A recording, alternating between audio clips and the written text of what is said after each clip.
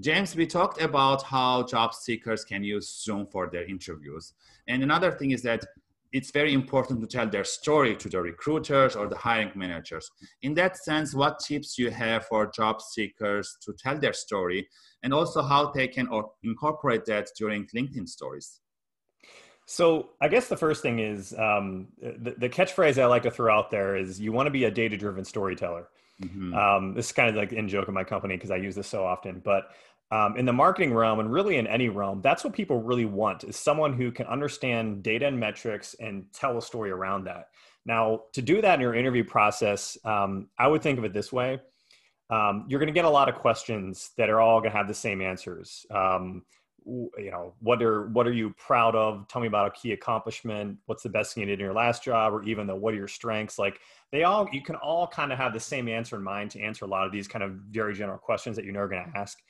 I always I always recommend to people have two or three like key accomplishments, projects, whatever you worked on, yes. and also have metrics related to those. And those metrics can be anything from like growth or revenue or productivity or, or whatever it was. And rehearse talk to someone who is doesn't have your background talk to someone who's not going to get what you do per se and just get used to explaining kind of your key accomplishments to that person. That way, you have to kind of really become a better storyteller and provide better context because you, there's no guarantee that whoever talking to, you might be talking to people with different backgrounds who may or may not understand. But once you can do that, once you can kind of phrase things to the layperson so they understand your background and include some metrics, you'll have two or three kind of answers in your back pocket for any interview when people ask those kind of general questions that you know are going to come up. And what about LinkedIn stories? That's a new feature. Some people have still figuring out how can job seekers use that. Job seekers, that's an interesting one. I've I think it's very as a recruiter, I've been using it and we've been using it as a firm.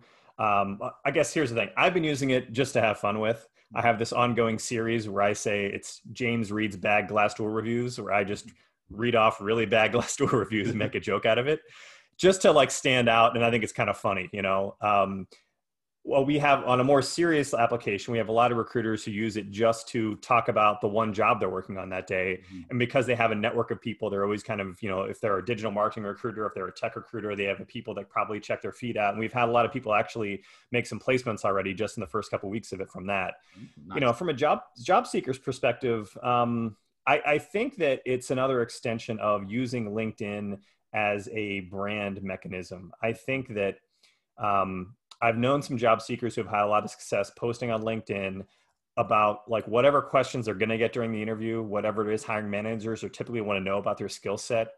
Become a thought leader on LinkedIn about those specific issues because what's going to happen is when you're doing the interview process, people are going to go to your LinkedIn profile, see what you're talking about.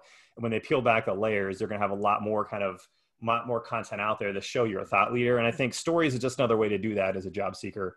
Um, hopefully, you're connecting with these people you're interviewing with. That way, they see it and then they can see what your thoughts are. Thank you for those great tips, James. And for the audience watching or listening, if you have any other tips in terms of telling stories or how to use LinkedIn stories, please leave a comment below and tune in next time for another great question with James.